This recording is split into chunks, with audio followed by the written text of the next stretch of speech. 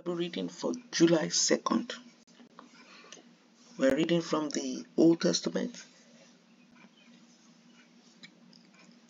the New Testament, the Psalms, and the Proverbs.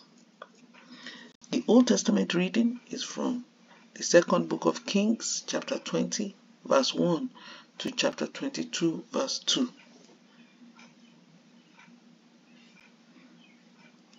About that time, Hezekiah became deathly ill, and the prophet Isaiah, son of Amoz, went to visit him.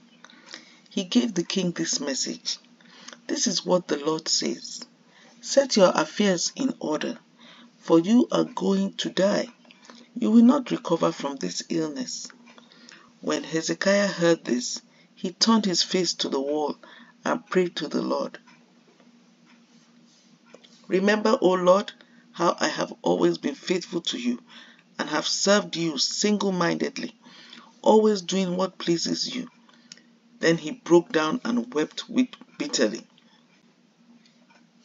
But before Isaiah had left the middle courtyard, this message came to him from the Lord Go back to Hezekiah, the leader of my people. Tell him, This is what the Lord, the God of your ancestor David, says I have heard your prayer and seen your tears. I will heal you. And three days from now,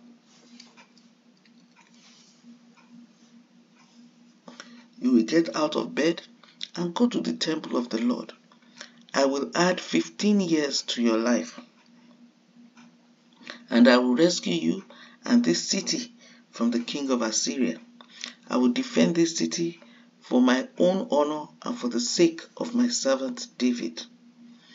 Then Isaiah said, Make an ointment from figs. So Hezekiah's servants spread the ointment over the boil, and Hezekiah recovered. Meanwhile, Hezekiah had said to Isaiah, What sign will the Lord give to prove that he will heal me and that I will go to the temple of the Lord three days from now? Isaiah replied, this is the sign from the Lord to prove that he will do as he promised. Would you like the shadow on the sundial to go forward 10 steps or backward 10 steps? The shadow always moves forward, Hezekiah replied, so that would be easy. Make it go 10 steps backward instead. So Isaiah the prophet asked the Lord to do this, and he caused the shadow to move 10 steps backward on the sundial of Ahaz. Soon after this, Merodach Baladan, son of Baladan, king of Babylon, sent Hezekiah his best wishes and a gift, for he had heard that Hezekiah had been very sick. Hezekiah received the Babylonian envoys and showed them everything in his treasure houses the silver, the gold, the spices, the aromatic oils. He also took them to see his armory and showed them everything in his royal treasuries. There was nothing in his palace or kingdom that Hezekiah did not show them. Then Isaiah the prophet went to King Hezekiah and asked him, what did those men want? Where were they from? Hezekiah replied, They came from the distant land of Babylon. What did they see in your palace? Isaiah asked.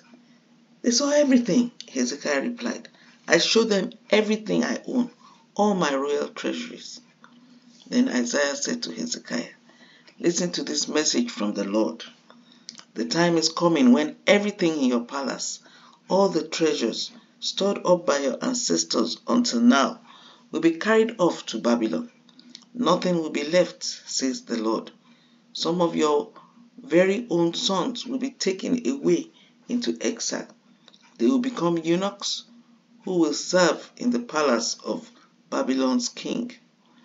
Then Hezekiah said to Isaiah, This message you have given me from the Lord is good. For the king was thinking, At least there will be peace and security during my lifetime. The rest of the events of in Hezekiah's reign, including the extent of his power and how he built a pool and dug a tunnel to bring water into the city, are recorded in the book of the history of the kings of Judah.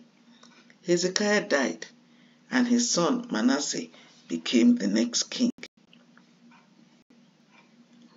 Manasseh was 12 years old when he became king, and he reigned in Jerusalem 55 years. His mother was Hephzibah.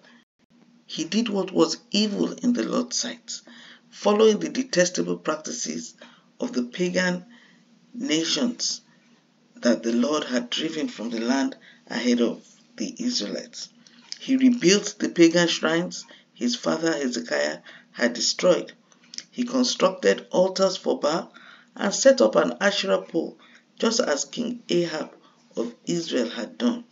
He also bowed before all the powers of the heavens and worshipped them. He built pagan altars in the temple of the Lord, the place where the Lord had said, My name will remain in Jerusalem forever. He built these altars for all the powers of the heavens in both courtyards of the Lord's temple. Manasseh also sacrificed his own son in the fire. He practiced sorcery and divination, and he consulted with mediums and psychics. He did much that was evil in the Lord's sight, arousing his anger.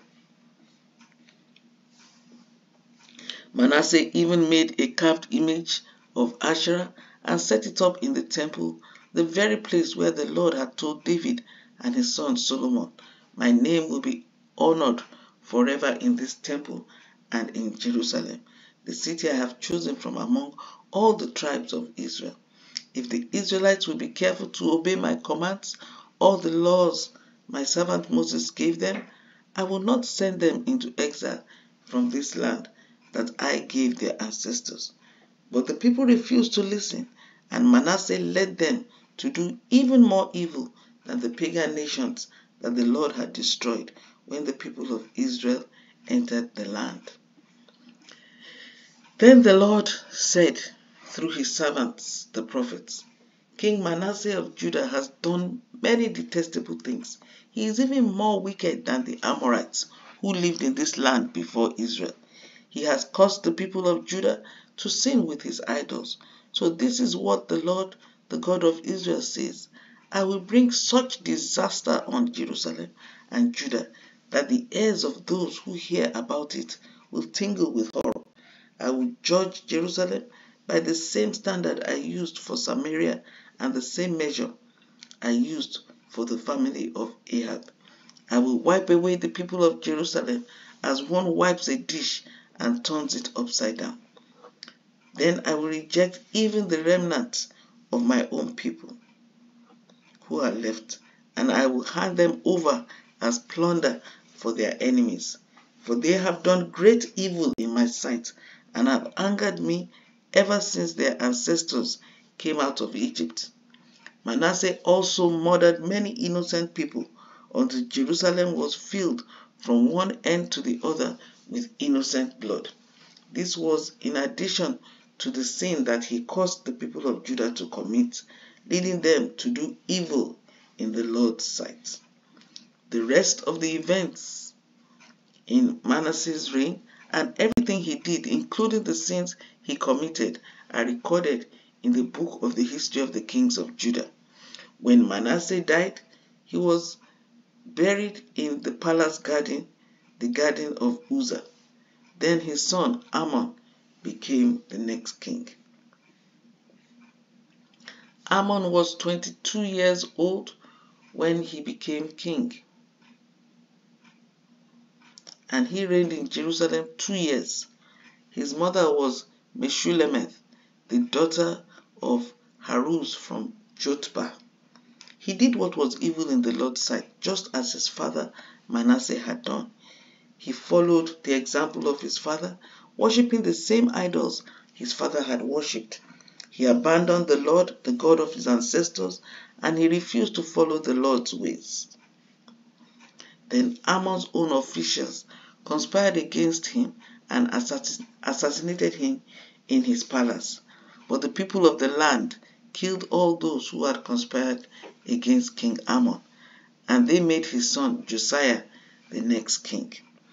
The rest of the events in Amon's reign and what he did are recorded in the book of the history of the kings of Judah. He was buried in his tomb in the garden of Uzza. Then his son Josiah became the next king.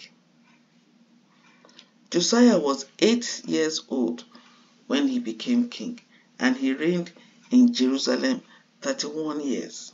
His mother was Jedidah, the daughter of Adaiah from Bozkath. He did what was pleasing in the Lord's sight and followed the example of his ancestor David. He did not turn away from doing what was right. So that's the end of the reading from the Old Testament. We'll continue from there tomorrow for the Old Testament. Now, the reading from the New Testament. Acts chapter 21, verse 18 to 36. The next day, Paul went with us to meet with James, and all the elders of the Jerusalem church were present. After greeting them, Paul gave a detailed account of the things God had accomplished among the Gentiles through his ministry. After hearing this, they praised God, and then they said, You know, dear brother, how many thousands of Jews have also believed, and they all follow the law of Moses very seriously. But the Jewish believers here in Jerusalem have been told that you are teaching all the Jews who live among the Gentiles to turn their backs on the laws of Moses. They've heard that you teach them not to circumcise their children or follow other Jewish customs. What should we do? They will certainly hear that you have come. Here's what we want you to do. We have four men here who have completed their vow. Go with them to the temple and join them in the purification ceremony, paying for them to have their heads ritually shaved. Then everyone will know that the rumors are all false and that you yourself observe the Jewish laws. As for the Gentile believers, they should do what we already told them in a letter. They should abstain from eating food offered to idols, from consuming blood or the meat of strangled animals, and from sexual immorality. So Paul went to the temple the next day with the other men. They had already started the purification ritual, so he publicly announced the date that their vows should, would end and sacrifices would be offered for each of them. The seven days were almost ended when some Jews from the province of Asia saw Paul in the temple and roused a mob against him. They grabbed him, yelling, Men of Israel, help us!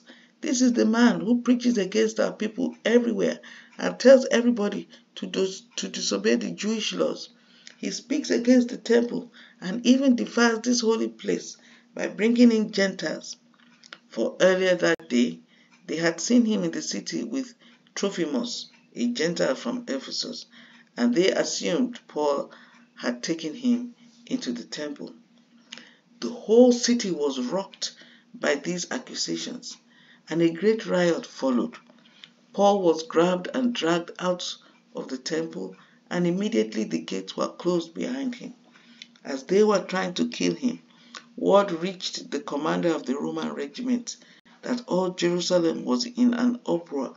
He immediately called out his soldiers and officers and ran down among the crowd.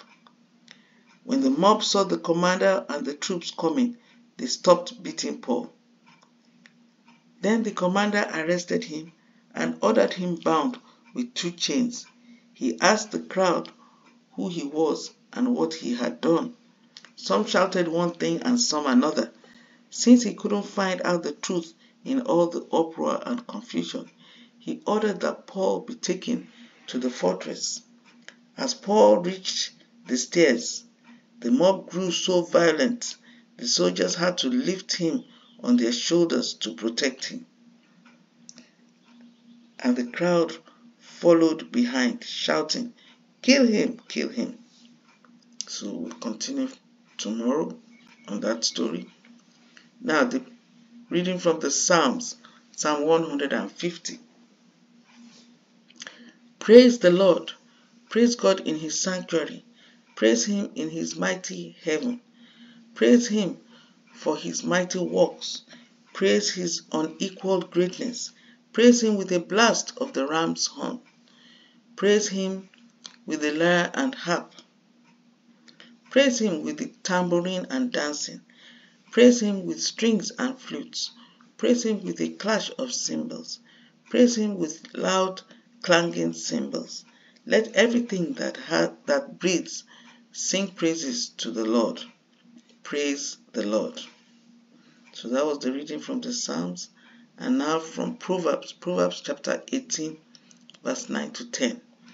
A lazy person is as bad as someone who destroys things. The name of the Lord is a strong fortress. The godly run to him and are safe. So that ends the Bible reading for today, July 2nd. May the Lord God Almighty bless the reading and the hearing of His word. And I pray that He will give us understanding in Jesus Christ's name. Amen.